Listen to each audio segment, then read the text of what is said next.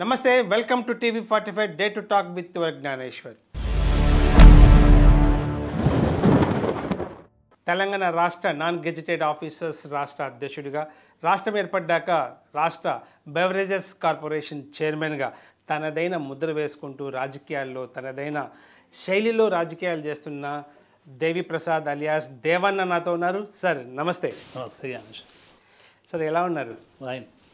మీ beverages corporation period అయిపోయి దాదాపుగా రెండు మూడు సంవత్సరాలు అయిపోయింది ఏం చేస్తున్నారు రెండు మూడు సంవత్సరాలు? పార్టీ కార్యక్రమాలు ఉద్యోగులకు సంబంధించినటువంటి అంశాలు అనేక రకాల అంటే ఒక్కటి వ్యక్తిగతంగా మాకు ఏమైపోయిందంటే తెలంగాణ ఉద్యమంతో ఉండేటువంటి సంబంధం కావచ్చు టీఆర్ఎస్ పార్టీతో ఉండేటువంటి అనుబంధం కావచ్చు.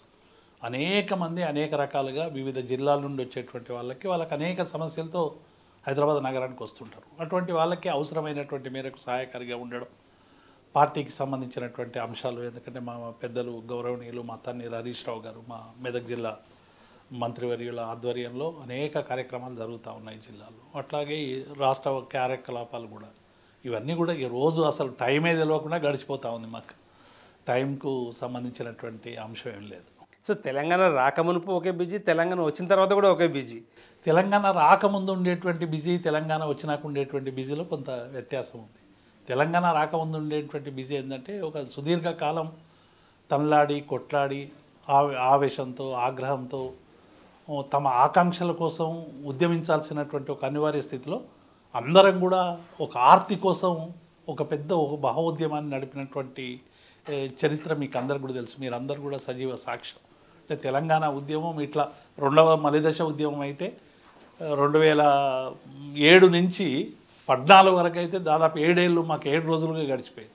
అసలు ఇన్ని జిల్లాలు తిరగడం వేలాది గ్రామాలు తిరగడం వేలాది మీటింగులు అటెండ్ చేయడం అనేక మంది రాజకీయ నాయకుల వైఖరి మీద అనేక రకాల ఉద్యమాలు చేయడం ఇటువంటివి కూడా మొత్తంగా కూడా తెలంగాణ ఉద్యమం అనేటువంటిది ఒక గొప్ప అనుభవం. నిజంగా ఈ జనరేషన్లో ఈ తెలంగాణ ఉద్యమంలో పాల్గొన్నటువంటి అనేక మందికి కూడా ఇది ఒక ఒక పెద్ద అనుభవం. ఈ అనుభవం నుండి మనం అనేక పాఠాలు నేర్చుకోవచ్చు. అంటే రాజకీయ నాయకులకు సంబంధించినటువంటి పార్టీలకు సంబంధించినటువంటి వైఖరులు కావచ్చు వ్యక్తిగతమైనటువంటి వాళ్ళ మానసిక సంసిద్ధత కావచ్చు.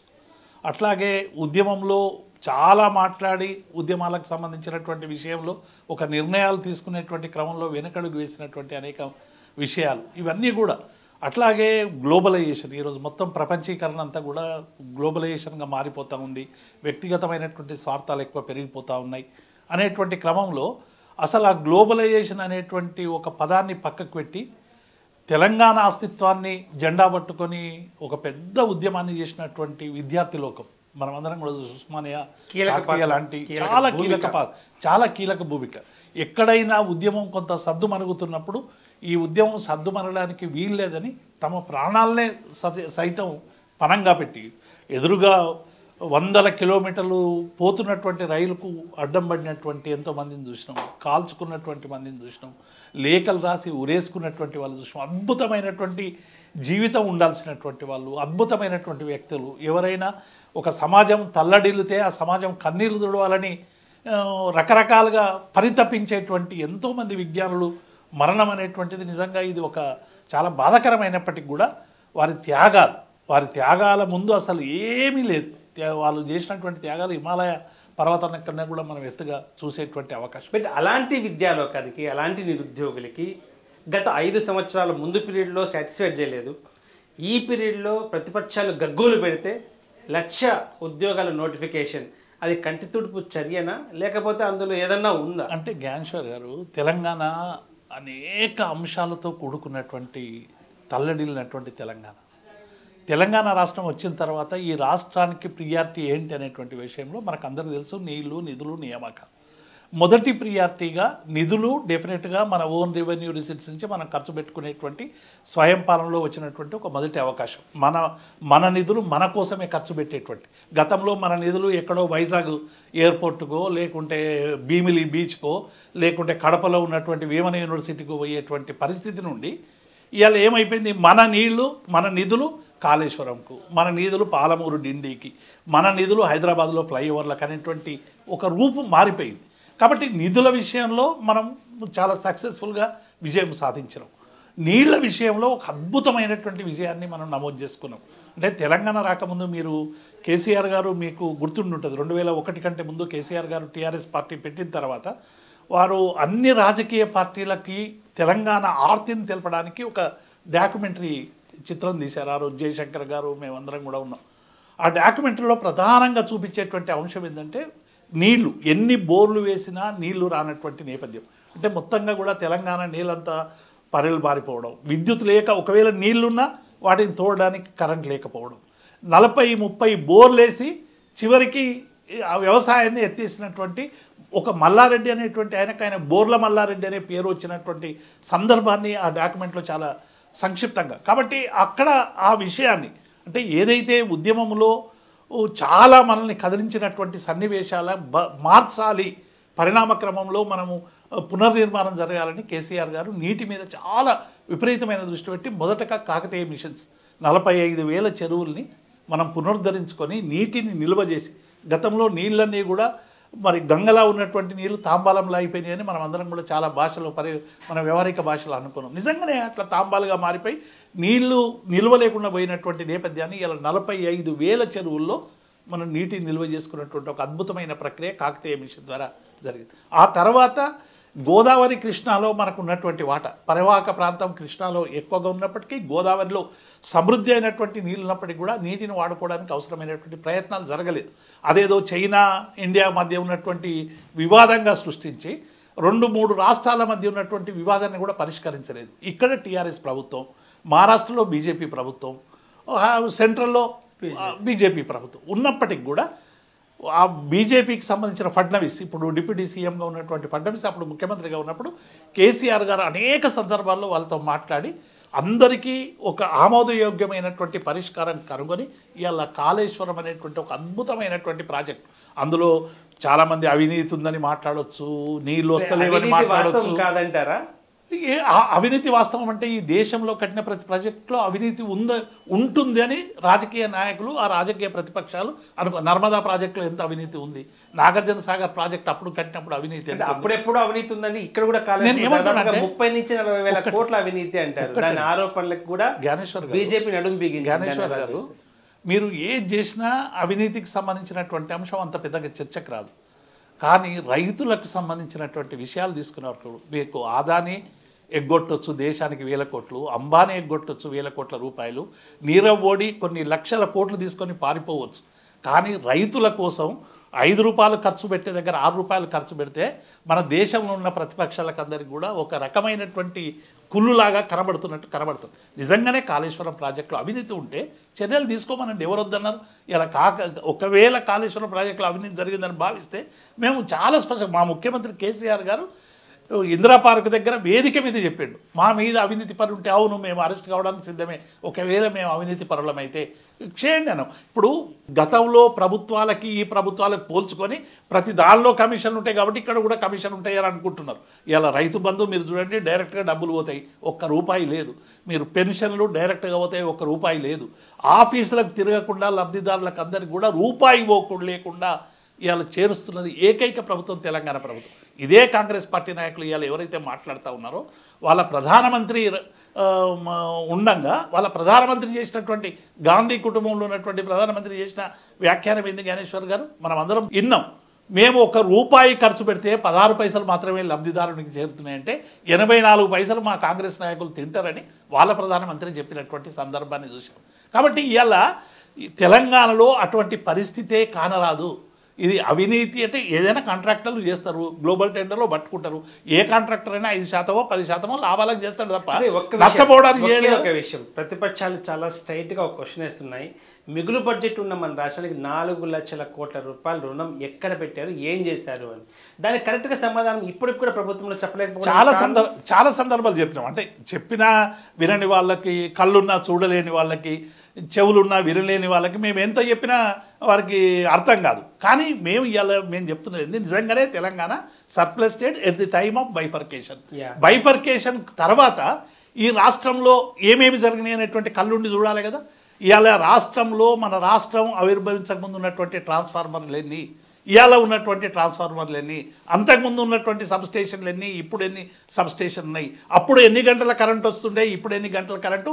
అప్పుడే నాణ్యమైనటువంటి కరెంట్ వస్తుంది ఇప్పుడే నాణ్యమైనటువంటి కరెంట్ వస్తుంది అనేటువంటి విషయంలో స్పష్టత ఉండాలి. రెండవది అప్పుడున్న ప్రాజెక్టులు ఏం కట్టినాం ఇప్పుడు ఇప్పుడు ఈ ప్రాజెక్టులు ఏం కడుతున్నాం ఇలా మీరు గ్రామీణ ప్రాంతాల్లో రైతు కల్లాలు కల్లాలు రైతు వేదికలు వైకుంఠధామాలు అర్బన్ పార్కులు గ్రామాల్లో పార్కులు ఇట్లా మనం చెప్పుకుంటూ పోతే హరితారం.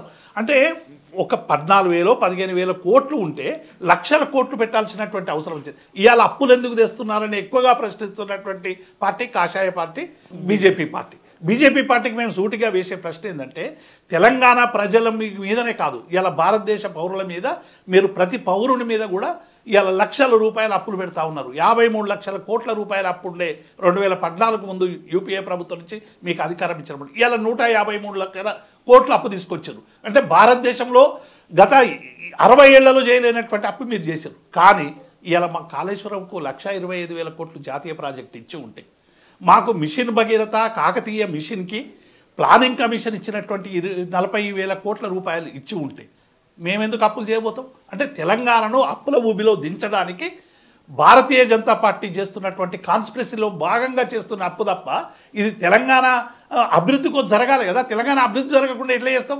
ఇది భారతీయ జనతా పార్టీ వల్లనే మేము అప్పుల ఊబిలోకి దిగిపోతున్నాం. అప్పుల ఊబిలోకి దిగిపోతున్నటువంటి కుటుంబాన్ని ఇరవై ఎనిమిది కుటుంబాలు అనుకుంటే భారతదేశం దీన్ని ఆదుకోవడానికి ఎందుకు మాకు జాతీయ ప్ర మీరు అప్పర్ భద్ర ప్రకటిస్తారు? పోలవరం ప్రకటిస్తారు ప్లానింగ్ కమిషన్ ఇచ్చిన నిధులు ఇస్తారు. ఆంధ్రప్రదేశ్ ప్రభుత్వానికి కేంద్ర ఆర్థిక శాఖ మంత్రి ఆరు లేఖలు రాసిండు.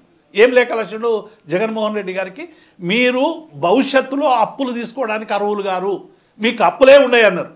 కానీ మొన్న రాష్ట్రపతి ఎన్నికల సందర్భంగా లాలూచి ఏర్పరచుకొని నేను లాలూచి అనను కానీ ఆ రాష్ట్ర ప్రయోజనాలను దృష్టిలో పెట్టుకొని అరవై వేల కోట్ల రూపాయలు అప్పిచ్చారు. ఎట్లా అప్పిస్తారండి మీరు? ఎఫ్ఆర్బిఎం దేశమంతా ఒకటే. ధర్మం న్యాయం అని చెప్తారు కదా. ఈ ధర్మం న్యాయం రాష్ట్రపతి ఎన్నికల్లో బ్లాక్మెయిల్ చేయడానికి ఉపయోగపడుతున్నదా? మీ ధర్మం న్యాయం అని నేను సూటిగా భారతీయ జనతా పార్టీ నాయకులు ప్రశ్నిస్తా ఉన్నా. ఎట్లా అరవై వేల కోట్ల రూపాయలు ఆంధ్రకు అప్పిస్తారు? తెలంగాణకు అప్పివ్వడానికి ఇన్ని ఇబ్బందులు ఎందుకు పెడతారు? మేము యాభై మూడు వేల తొమ్మిది వందల డెబ్బై కోట్ల రూపాయలు ఈ బడ్జెట్లో పెడితే కార్పొరేషన్ అప్పులు ఇరవై ఇరవై ఒకటి నుంచి కూడా జమ చేసి ఎఫ్ఆర్బిఎం పరిధి లేదని ఇలా అది ముప్పై ఐదు వేలకు కుదించి ఈ రాష్ట్రంలో అభివృద్ధి జరగకుండా చేస్తున్నది ఎవరు? మీకు తెలంగాణ మీద ప్రేమ ఉంటే ఓ కిషన్ రెడ్డి ఓ బండి సంజయ్ ఓ అరవిందు మీకు మీకు కనీసం తెలంగాణ మీద ప్రేమ ఉంటే తెలంగాణ అభివృద్ధి జరగడానికి అవసరమైనటువంటి సహకారాన్ని అందించండి. కానీ కట్టె పుల్లలు పెట్టకుండా నేను విజ్ఞప్తి చేస్తాను కానీ హైదరాబాద్ నగరం పైన ఎందుకు ప్రత్యేకమైన దృష్టి పెట్టారు? హైదరాబాద్ నగరాన్ని ఏం చేద్దాం అనుకుంటుంది బీజేపీ? ఇప్పుడు బీజేపీకి కావాల్సింది ఏంది? హైదరాబాద్ను భాగ్యనగరంగా మార్చడం. భాగ్యలక్ష్మి దేవాలయం దగ్గరికి పోయి అందరం మొక్కడం. ఈ హైదరాబాద్ నగరంలో రోహింగలు ఉన్నారని చెప్పి దుష్ప్రచారం చేయడం. ఎక్కడో జరిగితే మూలాలు ఇక్కడ ఉన్నాయని చెప్పి ప్రచారం చేసి హైదరాబాద్ డబుల్ ఇంజన్ ఉంటే తప్ప ఇవి డిటెక్ట్ అవుతాయి తప్ప డబుల్ ఇంజన్ లేకుంటే ఇక్కడ ఏమి డిటెక్ట్ కావు అనేటువంటి ఒక భావనతో ఇలా భారతీయ జనతా పార్టీ ఆడుతున్న బ్లాక్మెయిల్ నాటకం. ఏ- ఇప్పుడు వారు వరద నష్టంకి సంబంధించినటువంటి సందర్భంలో బండి సంజయ్ ఏం మాట్లాడు బండి పోతే బండి ఇస్తా ఇల్లు పోతే ఇల్లు ఇస్తా మనిషి పోతే మనిషి ఇస్తా. ఇవన్నీ మాట్లాడండి కదా. మేము ఏదో మాకు శాతగాక ఉన్న దాంట్లో పదివేల రూపాయలు ఇచ్చినాం. మీరు ఏమి ఇచ్చారు కేంద్రం నుంచి? ఇలా అడుగుతున్నాం స్టేట్ అవే. మా కేటీఆర్ గారు చెప్పారు మూడు లక్షల అరవై ఎనిమిది వేల కోట్ల రూపాయలు ఈ రాష్ట్రం నుంచి ఫోర్త్ కాంట్రిబ్యూటర్గా ఉన్నాం ఈ దేశంలో. కానీ మాకు మీరు ఇచ్చినటువంటి అదనపు ప్రయోజనాలు ఏంటి? కేవలం మాకు ఇచ్చేటే ఇస్తలేరు. ఇలా జ్యూ జ్యువెలరీ మీద వన్ పాయింట్ ఫైవ్ పన్ను పెడతారు. పాల మీద మేము హోటల్కి పోయి దోశ తింటే పన్నెండు శాతం పన్ను ఇస్తారా మీరు? ఇదేనా? భారతీయ జనతా పార్టీ చేసేది? రేపు దేశంలో ఇదేనా? అంటే ధనవంతులకేమో ఒక పన్ను పేదలకు పాల మీద పన్ను తిండి మీద పన్ను చేనేత ఇప్పుడు సిరిసిల్లానే ఒక అద్భుతమైనటువంటి చాలా ఆత్మహత్యలు జరిగినాయి. చేనేత వృత్తుల్ని బలపరచాలి అని చెప్పి దసరాకు చీరలు ఏవో రకరకాల స్కీములు పెట్టి చేనేత రంగాన్ని బలోపేతం చేసేటువంటి పని కేటీఆర్ గారు ముఖ్యమంత్రి కేసీఆర్ నాయకత్వంలో జరుగుతుంది ఆ జీఎస్టీని ఐదు నుంచి పన్నెండు వరకు పెంచే ప్రయత్నం చేస్తూ ఉన్నారు. అంటే మీరు ఐదును మూడు చేసి చేనేత కార్మికులు ఆడుకోవన్నా ఐదు నుంచి పన్నెండు చేసి రాష్ట్రాన్ని దోచుకొని ఇంకెక్కడైనా బుల్లెట్ ట్రైన్కి పెట్టానా మీరు. ఇది చెప్పాలి కదా భారతీయ జనతా పార్టీ. ఇప్పుడు మతము అందరికీ విశ్వాసం ఉంటుందండి. మతం అనేది ఎవరికి వ్యక్తిగతమైనటువంటి విశ్వాసం. మీరు భాగ్యనగరంగా మారుస్తారంటే రేపు మొన్న కేటీఆర్ గారు ట్వీట్ చేసి మీరు చూసి ఉంటారు. అది ఆ గుజరాత్ను కూడా ఆదాని బాధ చేయమని అన్నాడు. హా, ఎందుకు అడిగారు? అహ్మదాబాద్ను ఆదాని బాధ చేయమన్నాడు. అంటే మీరు కేవలం ఒక ఇద్దరు మనుషులు కొనడానికి అమ్మడానికి జరుగుతున్నటువంటి ఒక తతంగం తప్ప ఇలా మూడో మనిషికి ప్రమేయం ఎక్కడున్నది భారతీయ జనతా పార్టీలో చెప్పండి?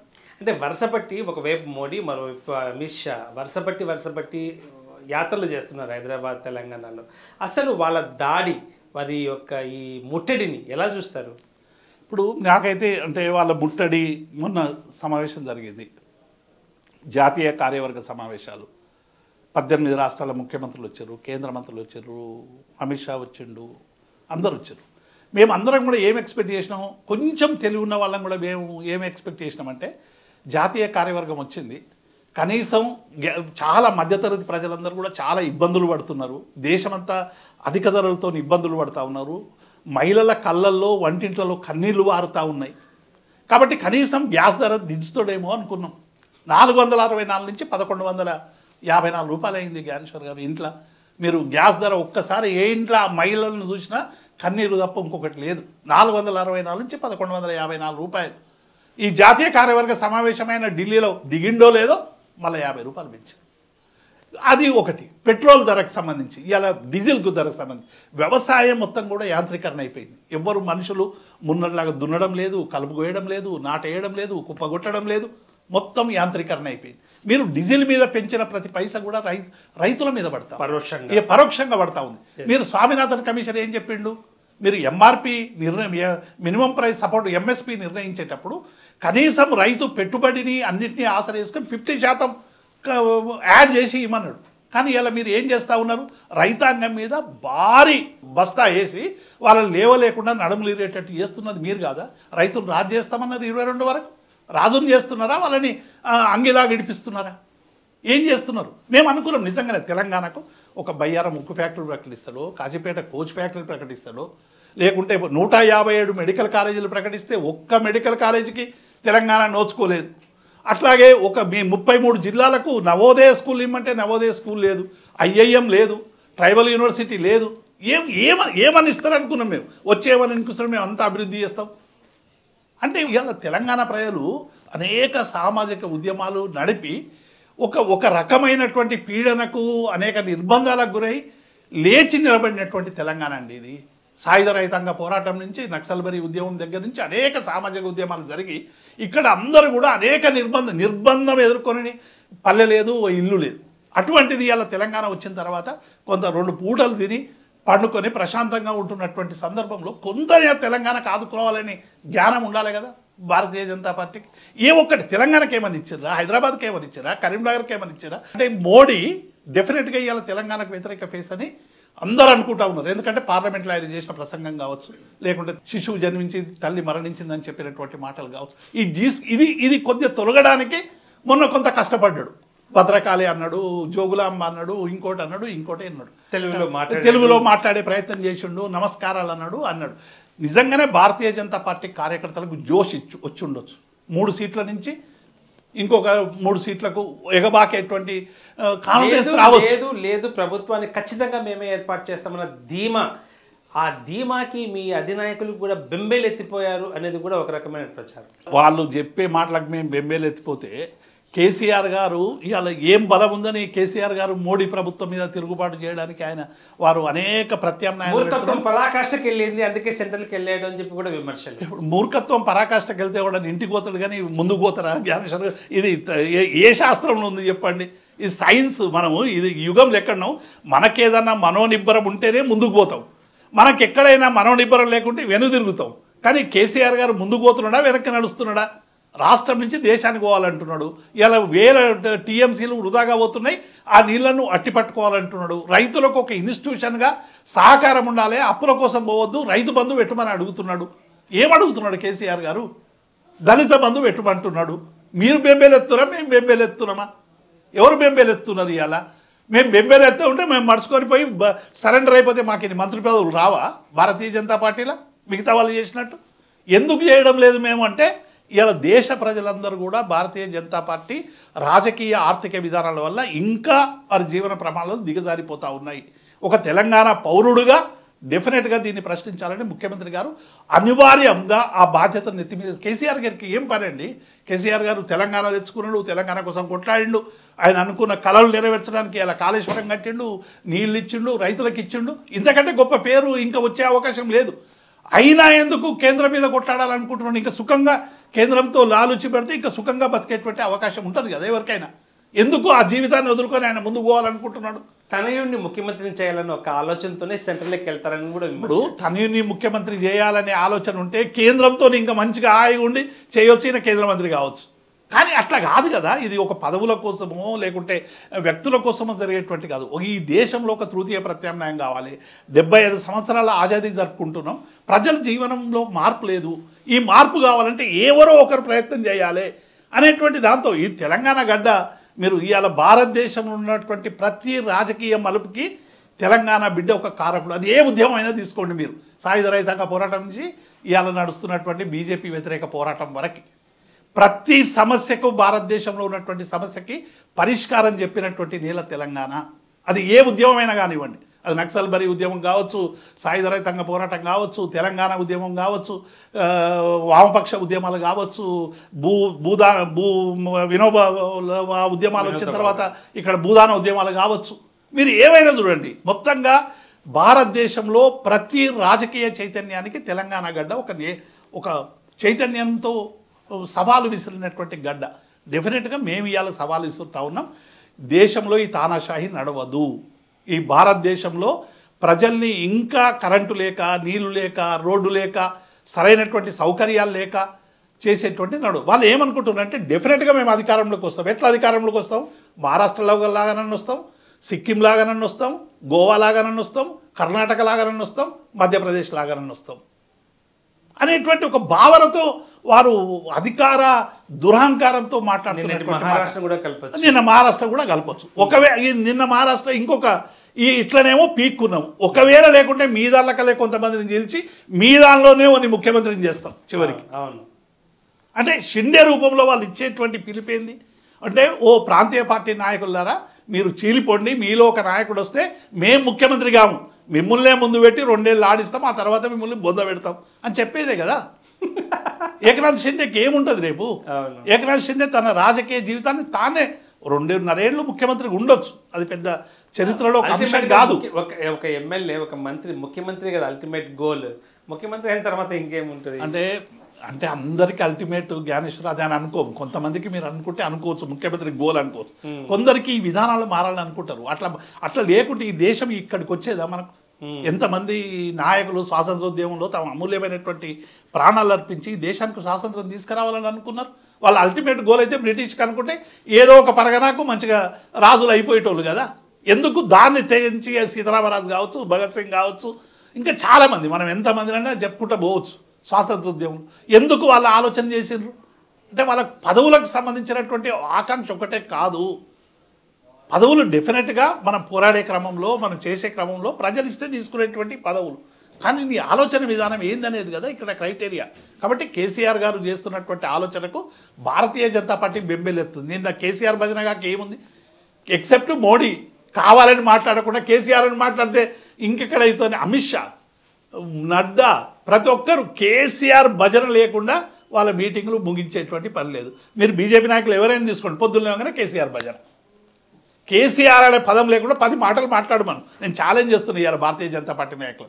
సమస్యల మీద కావచ్చు లేకుంటే దేశం మీద కావచ్చు రాష్ట్రం మీద కావచ్చు రైతుల మీద కావచ్చు దేని మీద. వాళ్ళు పది మాటలు మాట్లాడితే కేసీఆర్ గారికి ఐదు మాటలు ఉంటాయి. ఒక ముచ్చట చెప్పండి. ఢిల్లీతో సై అంటున్న కేసీఆర్కి కాంగ్రెస్కి ఇక్కడ స్టేట్లో కాంగ్రెస్ నాయకులు అయితేనేమి సెంట్రల్లో కాంగ్రెస్ నాయకుల మధ్య ఐక్యత ఎలా ఉందంటారు? ఇప్పుడు అంటే మొన్న రాష్ట్రపతి ఎన్నికలకు సంబంధించి మా లైన్ చాలా క్లియర్ జ్ఞానేశ్వర్ గారు. మేము ఏమంటే రెండు జాతీయ పార్టీలకు సమాన దూరంగా ఉండాలని అనుకున్నాం. అందుకే మేము ప్రతిపక్షాలకు పెట్టినటువంటి సమావేశానికి మేము పోలేదు. అసలు మాకు రాష్ట్రపతి ఎన్నిక అనేటువంటిది ప్రధానమైనటువంటి అంశం కాదు. ఎందుకంటే మేము ఇలా జాతీయ రాజకీయ పార్టీగా ఈ దేశంలో ఉన్నటువంటి రాజకీయాల మార్పు కోసం పనిచేస్తాం. రాష్ట్రపతి ఎన్నిక అనేటువంటిది రాష్ట్రపతి గెలిచినా కూడా పెద్దగా రాజకీయాల మార్పులో పెను మార్పులు ఏమి ఉండవు. అయినప్పటికీ కూడా శరద్ పవార్ గారు మమతా బెనర్జీ గారు ఇద్దరు కూడా గౌరవ ముఖ్యమంత్రి గారికి ఫోన్ చేసి వారు అభ్యర్థించిన తర్వాత శరద్ పవార్ అభ్యర్థించిన మేము దానికి ఒప్పుకున్నాం. కానీ మేము ఒప్పుకున్నది ఎవరిని? కాంగ్రెస్ ప్రతిపాదించినటువంటి అభ్యర్థిని మేము ఒప్పుకోలేదు. టీఎంసీలో ఉన్నటువంటి యశ్వంత్ సిన్హా రాజీనామా చేసి టీఎంసీ ప్రతిపాదించినటువంటి అభ్యర్థికి మేము ఒప్పుకుంటాం. కాంగ్రెస్ అనివార్యంగా మద్దతు ఇస్తూ ఉన్నది. ఎందుకంటే ఇలా భారతీయ జనతా పార్టీ అభ్యర్థికి వ్యతిరేకంగా ప్రత్యామ్నాయంగా ఎదగాల్సినటువంటి కాంగ్రెస్ ఇవాళ నీరు గారిపోయింది. ఒక డిమానిటరేషన్ మీద కావచ్చు. రైతు చట్టాల మీద కావచ్చు. లేకుంటే ఈ దేశంలో వస్తున్నటువంటి అనేక రాజకీయ ఆర్థిక విధానాల మీద ఒక నిటారమైనటువంటి రాజీలేని పోరాటం చేసే సత్తువ కోల్పోయింది. ఒక రాహుల్ గాంధీ మీద ఈడీ కేసులు పెడితేనే వాళ్ళకి ఆగ్రహం ఉక్కిరి- పెళ్ళుపుతుంది ఉక్కిరి బిక్కిరి అయిపోయి, ఉక్కిరి ఉక్కిరి బిక్కిరి లేదండి ఉక్కిరి బిక్కిరి మరి. అయిపోయి మొత్తం వీధుల్లోకి వచ్చి మా రాహుల్ గాంధీ గారి మీద ఈడికి ఈడీ కేసు పెడతారంటారు. మీకు గుర్తుంది ఒక సామెత ఉంది కదా? ఇది ఎక్కడో మా పక్క జిల్లాకు వచ్చిర్రు ఎత్తుకపోవడానికి అనుకుంటే అది పక్క జిల్లా మనకేం సంబంధం అనుకున్నాడు. పక్క తాలూకాకి వచ్చిర్రు. మనకేం సంబంధం అనుకున్నారు. మన ఊ పక్క ఊరికి వచ్చిర్రు. మనకేం సంబంధం అనుకున్నారు. మన ఊరికి వచ్చిర్రు. మన ఇల్లు కాదులే అనుకున్నారు ఆఖరికి నీ ఇంటికి వచ్చే వరకు ఎవరు ఉంటారు? నిన్ను కాపాడడానికి ఎవరు ఉండరు కదా? ఇప్పుడు టీఎంసీ మీద చేసిండ్రు దాడులు ఈడీ దాడులు ఆర్జేడీ మీద చేసిండ్రు డిఎంకే మీద చేసిండ్రు ఆప్ మీద చేసిండ్రు. అందరి మీద చేశాక నీ దగ్గరకు వచ్చిండ్రు ఇప్పుడేమో నువ్వు గొల్లుమని ఏడుస్తా ఉన్నావు. అందరినీ నువ్వు వారి మీద ప్రతిపక్షాల ఇప్పుడు భారతీయ జనతా పార్టీ చేస్తున్న పెద్ద కాన్స్పిరసీ ఏంటంటే జ్ఞానేశ్వర్ గారు ప్రతిపక్ష పార్టీలన్నీ అవినీతి పరమైనటువంటి పార్టీలు. కేవలం భారతీయ జనతా పార్టీ మాత్రమే నిబద్ధత గల నిజాయితీ గల నిప్పు లాంటి పార్టీ. నిప్పు లాంటి పార్టీ అని చెప్తా ఉన్నారు. ఇటీవల అది ఏమైపోయింది వీళ్ళు నిప్పు లాంటిదని ఒక పే రాగానే శ్రీలంకలో ఉన్నటువంటి కుంభకోణం బయటపడింది. శ్రీలంకలో ఒక టెండర్ కోసం భారతదేశానికి సంబంధించినటువంటి ప్రధానమంత్రి ఎట్లా ఇన్వాల్వ్ అయ్యింది అనేది వాళ్ళ ఎలక్ట్రిక్ అథారిటీ చైర్మనే ప్రకటించాడు. కాబట్టి ఇలా భారతీయ జనతా పార్టీ అధికారం కోల్పోయినాక ఎన్ని ఈడీ కేసులు ఎదుర్కొంటుంది ఎన్ని విజిలెన్స్ కేసులు ఎదుర్కొంటాయి ఎంతమంది జైల్లో భారతీయ జనతా పార్టీ నాయకులు ఉంటారు అనేది మనకు తర్వాత తెలుసు ఇక్కడ నా క్వశ్చన్ ఏంటంటే బీజేపీని ఎదుర్కోవాలంటే దానికి సమాంతరమైన పార్టీ కాంగ్రెస్. అలాంటి కాంగ్రెస్ను కూడా విభేదిస్తూ కేసీఆర్ జాతీయ రాజకీయాలు ఏం చేస్తాడు? ఇప్పుడు జ్ఞానేశ్వర్ గారు మీరు ఎప్పుడు కాంగ్రెస్ దానికి దీనికంటే వాళ్ళు కనీసం వచ్చిన అధికారాన్ని నిలుపుకోలేకపోతున్నారు. ఇప్పుడు ఉదాహరణకి మధ్యప్రదేశ్లో ప్రజలు అధికారం ఇచ్చారు భారతీయ జనతా పార్టీ నుంచి కాంగ్రెస్. వాళ్ళు ఎమ్మెల్యేలను నిలుపుకోలేదు. వచ్చిన క్యాడర్ను నిలుపుకోలేనటువంటి పార్టీ దేశ ప్రజలకు ప్రత్యామ్నాయం ఎట్లయితుంది? ఇలా రాహుల్ గాంధీ ఏ ఒక్క దాన్నైనా గట్టిగా ఎదుర్కొనేటువంటి శక్తి కాంగ్రెస్ పార్టీ అవసరం లేదా? కాంగ్రెస్ పార్టీ అవసరానికి అవసరం ఉందనే ప్రజలు ఎక్కువగా ప్రేమించి అరవై ఏళ్ళు అధికారంలోకి ఇచ్చిండ్రు. ఇలా కాంగ్రెస్ పార్టీ ఉండడం వల్లనే అధికారంలో ఉండడం వల్లే ఇబ్బంది అవుతుందని భారతీయ జనతా పార్టీని తెస్తే పెనం నుంచి పొయ్యిలో పడ్డట్టు అయింది అంతకంటే దుర్మార్గంగా బీజేపీ వ్యవహరిస్తూ ఉన్నది. ఈ రెండు జాతీయ పార్టీలు దేశానికి దేశ ప్రజలకు చేసినటువంటి ద్రోహం అంతా ఇంత కాదు. ఎందుకంటే ఈ ద్రోహం చేయకుంటే మనకు ప్రత్యేక తెలంగాణ రాష్ట్రం అడగాల్సినటువంటి అవసరం పడకపోతుండే. నీళ్ళ గురించి అడగవలసినటువంటి చివరికి రాష్ట్రపతి గ్రామంలో కూడా నీళ్ళు లేనటువంటి పరిస్థితి రోడ్ లేనటువంటి పరిస్థితి ఉండకపోతుండే కదా. ఈ రెండు జాతీయ పార్టీలు ప్రజల ముందు దోషిగా నిలబడ్డాయి. ఈ ప్రజల ముందు దోషిగా నిలబడ్డటువంటి వాటికి ఒక ప్రత్యామ్నాయం కావాలని మేము ప్రయత్నం చేస్తున్నాం. రెండు జాతీయ పార్టీలకు ప్రత్యామ్నాయం కావాలని మేము కోరుకుంటా ఉన్నాం. కాంగ్రెస్ పార్టీ భారతీయ జనతా పార్టీ విధానాలు ఒకటే జిఎస్టీ వాళ్ళు తయారు చేసిండ్రు చట్టాన్ని వీళ్ళు అమలు చేసిండ్రు. అంటే కాంగ్రెస్ పార్టీ ఆలోచనలు పకడ్బందీగా అమలు చేస్తున్నటువంటి పార్టీ భారతీయ జనతా పార్టీ. అనేటువంటిది ఇలా అందరం కూడా ఆర్థిక నిపుణులు అందరూ కూడా చెప్తా ఉన్నారు. ఇలా మొత్తం ఆర్థిక పరిస్థితి అంతా డిస్ట్రా అయిపోయింది. ఈ డిస్ట్రాయ్ మీద కనీసం ఒక్క మాట మాట్లాడదే కాంగ్రెస్ పార్టీ. ఈ ప్రత్యామ్నాయం ఎట్లయితుంది? మనం ఏదైనా రేస్లోకి పోయినప్పుడు ఆ గుర్రం ఎన్నిసార్లు ఉరికింది దాని తల్లి ఎన్నిసార్లు ఉరికింది కొడుకు ఎన్నిసార్లు ఉరికింది అని లెక్కలేసి కొందరు జూదాలు పెడతారు. ఆ జూదాలలో ఏమైతుందో మనం చూసినాం. ఇలా కాంగ్రెస్ పార్టీ నమ్ముకున్న వాళ్ళ పరిస్థితి కూడా గంతే ఉంది జ్ఞానేశ్వర్ గారు. కాంగ్రెస్ పార్టీ ఈ దేశ ప్రజలకు ప్రత్యామ్నాయం కాదు కానేరదు. ఎందుకంటే వాళ్ళ పాలన స్వయంగా చూసిర్రు. మొత్తం భారతదేశ ప్రజలందరూ చూసారు వాళ్ళ పాలనలో జరిగినటువంటి దుర్మార్గాలు చూసారు కాబట్టి ఇక మళ్ళీ కాంగ్రెస్ పార్టీ వైపు పోయేటువంటి అవకాశం లేదు. ఒకవేళ ప్రత్యామ్నాయం లేకుంటే అనివార్యంగా పోతారేమో ప్రజలు. కానీ అక్కడే ఆగిపోద్దని కేసీఆర్ గారు చేస్తున్నటువంటి ప్రయత్నం తృతీయ ప్రత్యామ్నాయం. ఈ రెండు జాతీయ పార్టీలు డెఫినెట్గా ప్రజల్ని మోసం చేసినాయి. ఈ మోసం నుండి బయటేసి దేశం అభివృద్ధి జరగాలి దేశంలో అభివృద్ధిలో పోటీ పడాలి ఈ అన్ని రంగాల్లో పోటీ పడాలి వైద్యంలో పోటీ పడాలి విద్యలో పోటీ పడాలి. మిగతా దేశాల్లో ఉన్నటువంటి వాటికి మన దేశానికి ఉండేటువంటి తారతమ్యాల్ని తొలగించాలి అనేటువంటి ఒక భావనతో మేము పోతా ఉన్నాం. కాబట్టి కాంగ్రెస్ పార్టీతో మాకెప్పుడు కూడా జతగలిసేటువంటి అవకాశం లేదు. ఇలా బీజేపీ అదే ప్రచారం చేస్తూ ఉంది. మీరు రాష్ట్రపతిని కలిసిరు కాబట్టి మీరు ఇద్దరు ఒకటి అన్నారు. మరి ఆ రోజు రామ్నాథ్ కోవింద్ కాంగ్రెస్ పార్టీ కేసీఆర్ని నమ్మట్లేదు. గతంలో కేసీఆర్ పార్టీని మెర్జ్ చేస్తానన్న హామీని చాలా తేలిగ్గా తీసుకున్నాడు. అటువైపు కూడా తొంగి చూడలేదు. అందుకే అధిష్టానం కేసీఆర్ నమ్మక ఇక్కడ రేవంత్ రెడ్డి రూపంలో దాడి చేయిస్తుంది అంటే? జ్ఞానేశ్వర్ గారు మీరు ఒక్కసారి ఆలోచన చేస్తే తెలంగాణ ఉద్యమం సందర్భంగా ఈ లీకులు వచ్చినాయి. టీఆర్ఎస్ ఇది వాస్తవమా కాదా?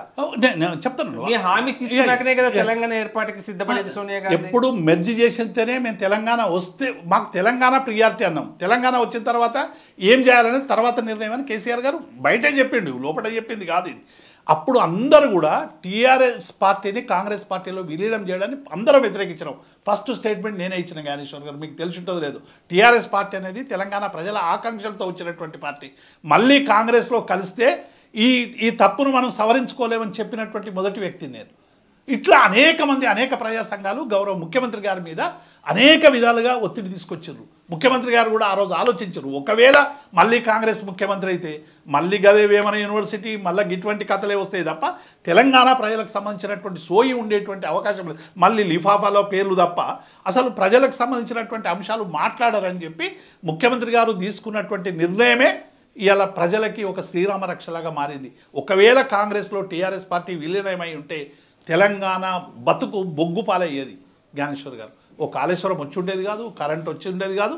ఇవాళ ఈ అవినీతి ఏ మేర పోతుండో మనకు ఆకాశం నుండి అక్కడి వరకు సముద్రం నుండి ఆకాశం వరకు వీళ్ళు చేసినటువంటి అవినీతి మనకు అందరికి తెలిసిందే కాంగ్రెస్ నాయకులది. మళ్ళీ చేయడానికి ఉపక్రమిస్తుండే. కాబట్టి కాంగ్రెస్ పార్టీ అనేటువంటిది ఎక్స్పైర్డ్ ప్రతి దానికి ఒక ఎక్స్పైర్ ఉంటుంది. మీరు చూస్తుంటారు మనం ఏదైనా మెడికల్ షాప్లోకి పోయి ట్యాబ్లెట్ తీసుకుంటే. ఇక్కడ సాక్షాత్ మీ కేటీఆర్ మీ కేసీఆర్ ఒప్పుకున్నారు. ఆ తెలంగాణ రాష్ట్రంలో టీఆర్ఎస్కి గట్టి పోటీ ఇచ్చేది క్షేత్రస్థాయిలో కాంగ్రెస్ పార్టీ ఏ అని. మరి మీరేంటి ఇక్కడ కాంగ్రెస్ చచ్చిపోయిందంటే నేను నేను ఏమంటున్నా. ఇక్కడ తెలంగాణ కానీ దేశంలో కానీ ఇప్పటికీ కాంగ్రెస్ పార్టీకి కొంత క్యాడర్ ఉంది. కొంత వారికి బలం ఉంది. ఓ పదిహేను శాతము ఇరవై శాతము ఇరవై శాతము బలం ఉంది. భారతీయ జనతా పార్టీకి పోల్చుకుంటే అది చాలా తక్కువ స్థాయిలో ఉంది. కాబట్టి తెలంగాణలో రెండవ స్థానం ఎవరిది అంటే డెఫినెట్గా కాంగ్రెస్దే అంటాం. కారణం ఏంటంటే కాంగ్రెస్ ఇంకా పల్లెల్లో కావచ్చు పట్టణాల్లో కావచ్చు అంతో ఇంతో సెక్యులర్ పార్టీ. ఎందుకంటే ఇది బీజేపీ లాగా మతాలను రెచ్చగొట్టి ఛాందసవాదాన్ని రెచ్చగొట్టి మా మారణహోండంలో మంటలు కాచేటువంటి పార్టీ కాంగ్రెస్ కాదని తెలుసు కదా. వారికి అవినీతి ఉండొచ్చు అవినీతిలో కూరుకపోవచ్చు దురహంకారంతో ప్రజల మీద దాడులు చేయొచ్చు. అనేక దోపిడీలు చేయొచ్చు. కానీ మతం విషయంలో తెలంగాణకు సంబంధించినటువంటి ఒక ప్రత్యేకమైన శైలి ఉంది. ఇక్కడ అనేక వందలాది వేలాది మంది యువకులు తమ అమూల్యమైనటువంటి ప్రాణాన్ని రక్త తర్పణతో తడిపినటువంటి తెలంగాణ. ఎందుకు తడిపినరు తెలంగాణ? ఇది ఒక లౌకిక రాజ్యం ఉండాలి. గంగా జమున తైజీ ఉండాలి. ప్రజలకందరికీ అన్ని సౌకర్యాలు కావాలి. ప్రజలందరూ స- సగర్వంగా బతకాలి ఆత్మగౌరవంగా బతకాలని కొట్లాడి అనేక మంది చనిపోయారు. అటువంటి నేలలో ఇవాళ భారతీయ జనతా పార్టీకి స్వాగతం పలుకుతారా? ఎక్కడో ఒక దగ్గర గెలుస్తారు. ఒకటి అంటే నేను ఇక్కడ ఏమంటున్నా ఇవాళ టీఆర్ఎస్ పార్టీ దాదాపు అరవై అరవై ఐదు శాతంలో ఉంటే వీళ్ళందరూ కూడా ఇరవై ఇరవై ఐదు శాతంలో పోటీ పడుతూ ఉన్నారు తొక్కులాడుతూ ఉన్నారు. కాబట్టి ఆ ఇరవై ఐదు మాదా మీదానే పోటీ తప్ప తెలంగాణలో టీఆర్ఎస్తో పోటీయే లేదు. మీరు భ్రమపడుతున్నారో లేకపోతే అది అతి విశ్వాసంగా కనిపిస్తుంది? ఎందుకంటే ఆత్మవిశ్వాసంతో చెప్తున్నా ఒకవైపు ఒకవైపు బీజేపీ మరోవైపు కాంగ్రెస్ దాడికి కేసీఆర్ వ్యూహాలు సరిపోవని పీకెన్ తెచ్చుకుని పెట్టుకొని కూడా వ్యూహాలు చేస్తున్నారు అది అంత బయట జరిగేటువంటి ప్రచారం. ఎవరమైనా బయట ప్రచారం ఏంటి? సాక్షాత్ కేసీఆర్ ఒప్పుకున్నాడు. నాకు అనుసంధానకర్తగా పీకే వ్యవహరిస్తారు. నాకు వ్యూహకర్తగా అతను బాధ్యతలు గారు- అంటే ఆయన శక్తి సరిపోవట్లేదా? పీకేను ప్రశాంత్ కిషోర్ అనేక రాజకీయ పార్టీలకు ఒక ఎలక్షన్ స్ట్రాటజిస్ట్గా పనిచేసిండు. ఆయనకు అనేక రాజకీయ పార్టీలతో అనుసంధానం ఉంది. అనేక రాజకీయ పార్టీల బలం తెలుసు బలహీనతలు తెలుసు. కాబట్టి మేము మాకు ఇంతవరకు మేము ఓన్లీ మా బౌండరీ తెలంగాణని అనుకున్నాం. మేము ఎప్పుడు మా సరిహద్దుల్ని చెరిపి మేము భారతదేశానికి ఏదో చెయ్యాలనేటువంటి తలంపు మాలో లేదు ఇది గతంలో. ఈ తలంపు ఎక్కడి నుంచి మొదలైంది? ఫెడరల్ స్ఫూర్తిగా వ్యవహరిస్తున్నటువంటి భారతీయ జనతా పార్టీ అట్లాగే అనేక అద్భుతమైనటువంటి అవకాశాలు వస్తున్న వినియోగించుకొని కాంగ్రెస్ పార్టీ. అట్లాగే ప్రజలకి ఏమాత్రం సౌకర్యం చేయకుండా కేవలం భ్రమింపజేసేటువంటి భారతీయ జనతా పార్టీ విధానాల వల్ల మేము అనివార్య స్థితికే ఇలా జాతీయ పార్టీకి పోవాలని అనుకున్నాం. ఇటువంటి స్థితిలో అన్ని పార్టీలకు పనిచేసిన ప్రశాంత్ కిషోర్ రేపు భారత రాజకీయాల్లో మాకు కొంత సహకారిగా ఉంటాడనేటువంటి విషయం ఇలా తెలంగాణలో ప్రతి పల్లెలో ఒక వంద మందిని పేరు పెట్టి పిలిచేటువంటి ఏకైక నాయకుడు కేసీఆర్ గారు. తెలంగాణ ప్రజలతో కనెక్టివిటీ ఉన్నటువంటి నాయకుడు ఒకరు లేరు. కాబట్టి తెలంగాణకు సంబంధించినటువంటి ఎవరో చెప్పాలి కేసీఆర్ ఎవరో దీన్ని సరిచేయాలనేటువంటిది ఈ తెలంగాణకు సంబంధించిన అంశమే కాదు. పీకే మాకు జాతీయ స్థాయిలో ఉపయోగపడతాడు. సైమల్టేనియస్లీ తెలంగాణలో ఉన్నప్పుడు కొన్ని విషయాలు చెప్తాడు. డెఫినెట్గా ప్రభుత్వం అన్నప్పుడు పది రకాలుగా అభిప్రాయాలు తీసుకొని మెరుగైనటువంటి అభిప్రాయం ఏదనేటువంటిది ముందుకు పోతుంది. కాబట్టి కేసీఆర్ గారికి ఏదో తక్కువని ప్రశాంత్ కిషోర్ని తెచ్చుకోలేదు. కేసీఆర్ ఇంకా బలోపేతం కావాలంటే చాలామంది అవసరంలో భాగంగా ప్రశాంత్ కిషోర్ని కూడా తీసుకొచ్చేటువంటి విషయాన్ని మేము అనేక సందర్భాల్లో చెప్తాం ఇప్పుడు చెప్తాం. ఇంత గెలిచి రచ్చ గెలిచాలంటారు తెలంగాణ రాష్ట్రంలో ప్రభుత్వం పైన తీవ్ర వ్యతిరేకత ఉందని ఒకవైపు ప్రజల్లోనూ పార్టీల్లోనూ వినిపిస్తున్న మాట. ఇప్పుడు ఇది మర్చిపోయి ఎక్కడో సమస్యలపైన ఈయన మాట్లాడారు గారు మేము ఇంట్లో ఎన్నిసార్లు గెలిచినాం?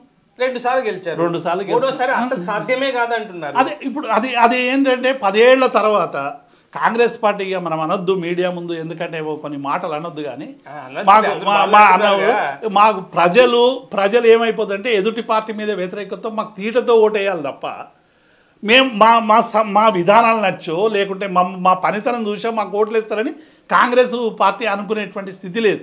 ఎందుకంటే వాళ్ళ మీద వ్యతిరేకతనే మాకు ఎట్లాగేస్తారు పదేళ్ళు కేసీఆర్ చేసింది కాబట్టి పదిహేను ఏళ్ళు మాదే. పదకొండు ఏడు నుంచి పదిహేను ఏళ్ళు మాదే అనుకుంటున్నారు. కానీ గతం లేదు. బెంగాల్ ఎందుకు రాలేకపోయారు? పదేళ్ళ తర్వాత కూడా అధికారంలోకి ఎందుకు వచ్చారు? బీజేడీలు ఎందుకు వచ్చిండు?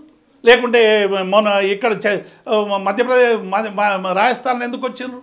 అంటే ఇట్లా చాలా రాష్ట్రాల్లో మనం చూస్తూ ఉన్నాం. పదిహేను ఏళ్ళు కూడా అధికారంలోకి రావచ్చని నిరూపించారు. ఎందుకు నిరూపించారంటే చేసేటువంటి పని విధానం. భారతీయ జనతా పార్టీ నాయకుల్లాగా ఐదుగురిని గుంజో పది మందిని గుంజో ప్రభుత్వాలు పడగొట్టో రాలేదు. ప్రజల విశ్వాసంతో గెలిచారు. ఇవాళ టీఆర్ఎస్ పార్టీ కూడా ప్రజల విశ్వాసంతో ముందుకు పోతా ఉంది. అనేక మండలాలు కావచ్చు జిల్లా పరిషత్తులు కావచ్చు మీరు ఎక్కడ ఎన్నికలు పెట్టినా మా గెలుపును ఎవరైనా ఆపగలిగిరా పార్లమెంట్లో నాలుగు వచ్చినాయని సంబరాలు చేసుకుంటే ముప్పై రెండు జిల్లాల్లో జిల్లా పరిషత్ చైర్మన్లు ఎగరేసి మేము చేసినాం. హుజరాబాద్ ఎన్నికలు ఒకటి గెలవంగానే ఇక దేశమంతా మాదే కాషాయపని. మేము మలిచినటువంటి అద్భుతమైనటువంటి నాయకుడు. మేము ఇచ్చినటువంటి పథకాలని ప్రజల వద్దకు తీసుకుపోయి అద్భుతంగా రాణించినటువంటి నాయకుడు గెలిచిండు. అది టీఆర్ఎస్ గెలుపు తప్ప బీజేపీ గెలుపు కాదు అది. మేము మలిచినటువంటి నాయకుడు మా కేసీఆర్ మలిచిన నాయకుడు కేసీఆర్ గారి విధానాల ద్వారా ప్రజలకు పోయి అనేక లబ్ధిదారులకు అంది అందించినటువంటి నాయకుడు కాబట్టి గెలిచిండు. మళ్ళీ ఎందుకో బండి కిషన్ రెడ్డి ఎందుకు ఓడిపోయిండు అసెంబ్లీలో?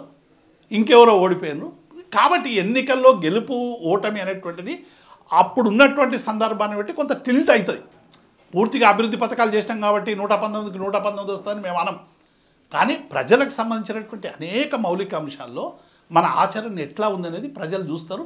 రేపు డెఫినెట్గా మూడవసారి కూడా టీఆర్ఎస్ పార్టీ జెండా ఎగరేస్తుంది. ఇంట్లో గెలుస్తాం రచ్చ అక్కడ బయట కూడా గెలుస్తాం. అక్కడ బయట గెలవకున్నా అంటే ఈసారి ఏదో ప్రధానమంత్రి అవుతాము మొత్తం మారిపోతుందని మేమేం కలలు కనడం లేదు. మా ఆలోచనలకు తెలంగాణ ఉద్యమం ఏంది జ్ఞానేశ్వర్ గారు?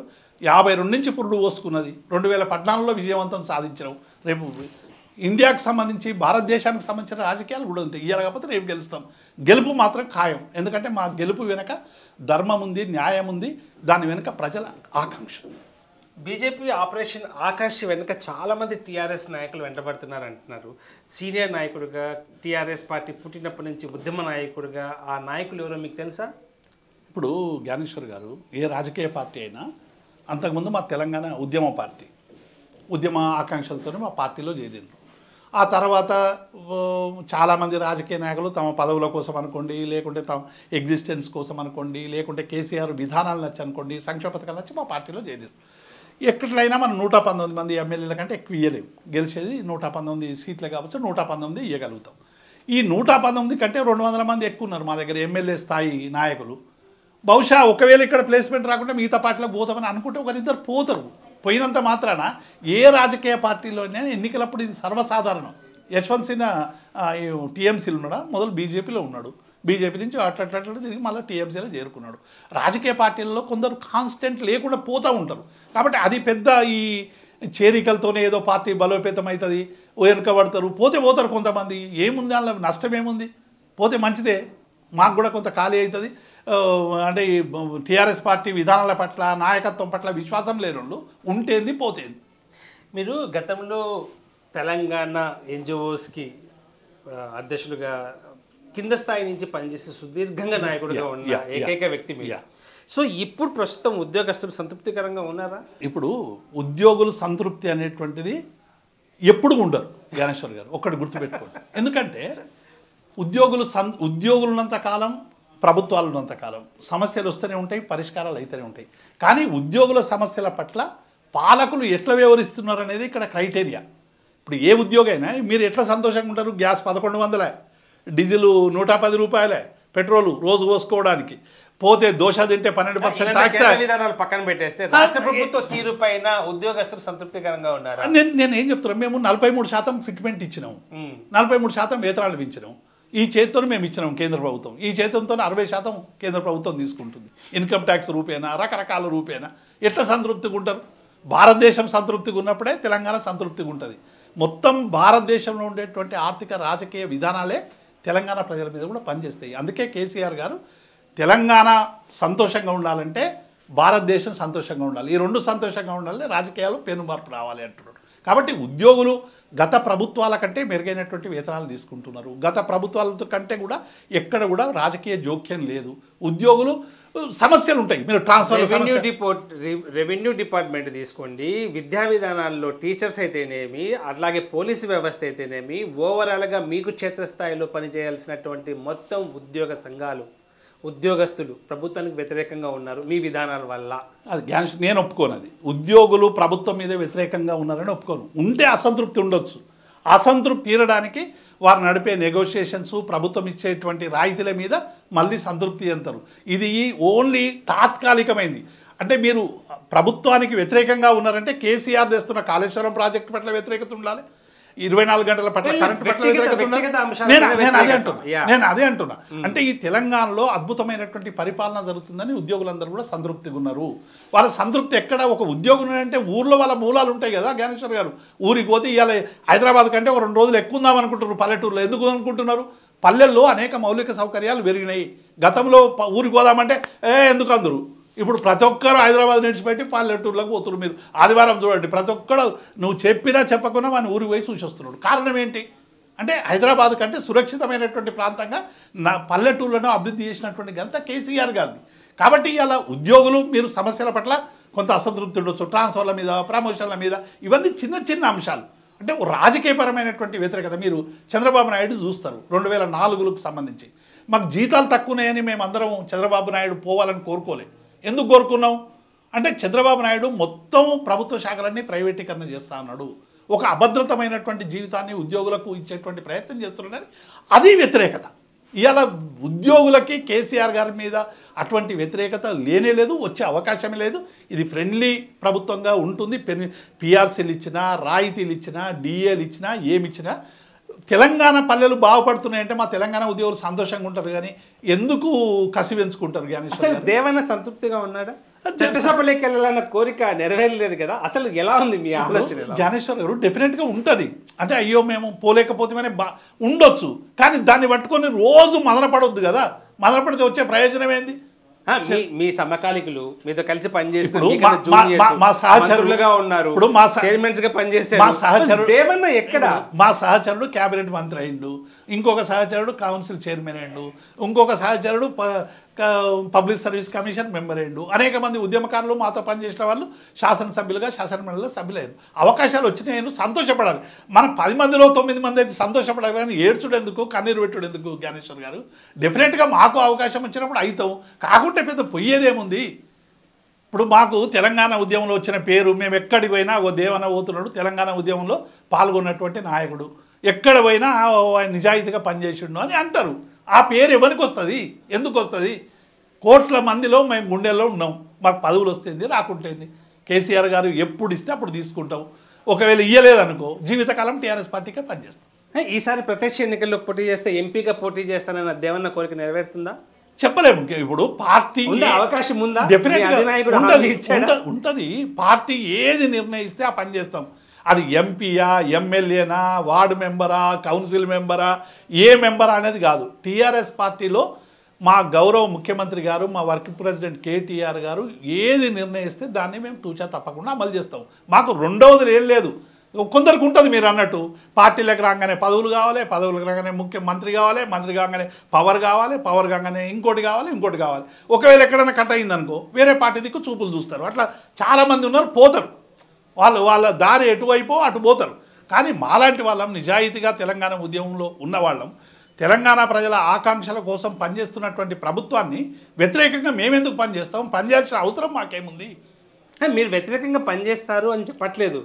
అసలు మీ కోరిక నెరవేరుతుందా ఇప్పుడున్న పరిస్థితుల్లోనే నేను అడుగుతున్నాను. ఇప్పుడు జ్ఞానేశ్వర్ గారు రాజకీయాలంటేనే రాజకీయ సమీకరణలు కులాల సమస్య రకరకాల ఈక్వేషన్స్ ఉంటాయి. కాబట్టి ఈ ఈక్వేషన్లో ఎక్కడైనా మేము ఫిట్ అయితేనేమో వస్తాం.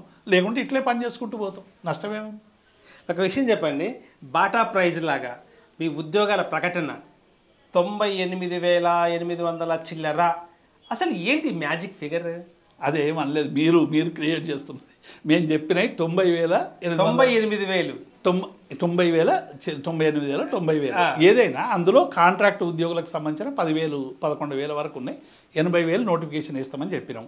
ఎనభై వేలలో గ్రూప్ వన్ వేసినాం. తర్వాత పోలీస్ ఉద్యోగాలు ఇష్టం కానిస్టేబుల్ ఉద్యోగాలు ఇష్టం గ్రూప్ ఫోర్ నోటిఫికేషన్ కూడా రెండు మూడు రోజుల్లో రాబోతా ఉంది. కాబట్టి మేము చెప్పిన ఎనభై వేల ఉద్యోగాలు గతంలో ఇచ్చిన లక్షా ముప్పై రెండు వేల ఉద్యోగాలకు తోడు తొంభై అంటే రెండు లక్షల పదకొండు వేల ఉద్యోగాలు ఏవైతే ఈ రాష్ట్రంలో క్రియేట్ చేశారు మీరు మొత్తం ఇరవై ఎనిమిది రాష్ట్రాలు చూడండి. మనకంటే పెద్దది కూడా ఉత్తరప్రదేశ్. ఎక్కడ కూడా ఈ ఎనిమిదేళ్ళలో రెండు లక్షల ఉద్యోగాలు ఇచ్చినటువంటి దాఖలాలు లేవు.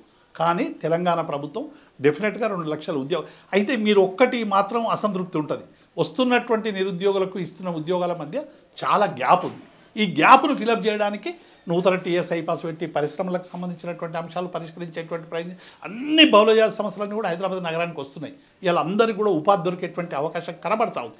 కాబట్టి భవిష్యత్తులో కూడా ఇంకా దీన్ని పెంచుకునేటువంటి విధంగా ప్రభుత్వం చర్యలు తీసుకుంటుంది. కానీ మనం ఏదో అయిపోయింది ఇప్పటికే నూటికి నూరు శాతం తెలంగాణ అయిపోయింది ఇక్కడ ఏం చేయడానికి లేదు అనేటువంటిది లేదు. ఇంకా చేయాల్సింది చాలా ఉంది. మా జయశంకర్ గారు ఒకప్పుడు మనం తెలంగాణ తెచ్చుకోవడం పది శాతం. నూరు శాతం కావాలంటే మనం చాలా దూరం ప్రయాణించాల్సి వస్తుందని వారు ఏం చెప్పారో ఆ ప్రయాణంలో మనం ఉన్నాం. తప్పకుండా ఆ గమ్యస్థానాన్ని చేరుకుంటాం. తెలంగాణ రాష్ట్రంలో హ్యాట్రిక్ దిశగా టీఆర్ఎస్ పార్టీ ముందుకెళ్తుంది. ఇక్కడ ప్రతిపక్షాలు ఏదైతే బీజేపీ కాంగ్రెస్ చేస్తున్న రాదంతం ఏమాత్రం వాస్తవం కాదు. అవినీతికి ఏమాత్రం అవకాశం ఇవ్వకుండా కేసీఆర్ పాలన సాగిస్తున్నారు. అలాగే సంక్షేమ పథకాలు కూడా ప్రజలకి చేరవేతలో చాలా ముందడుగున్నారు. ఇక ఇంట గెలిచి రచ్చ గెలవాల అన్న నానుడిని నిజం చేయబోతున్నారు. ఖచ్చితంగా మూడో దఫా విజయం సాధించి కేంద్రంలో కూడా తమ సత్తా చెడ్డానికి కేసీఆర్ సిద్ధమయ్యారు. ఇక ఉద్యోగస్తులైతేనేమి నిరుద్యోగస్తులైతేనేమి వారి అందరినీ కూడా సాటిస్ఫై చేసే విధంగా ప్రభుత్వం ముందుకెళ్తోందని చెప్పేసి దేవన్న చాలా స్పష్టంగా TV forty five day to టాక్లు share చేసుకున్నారు. అన్న నమస్తే. Música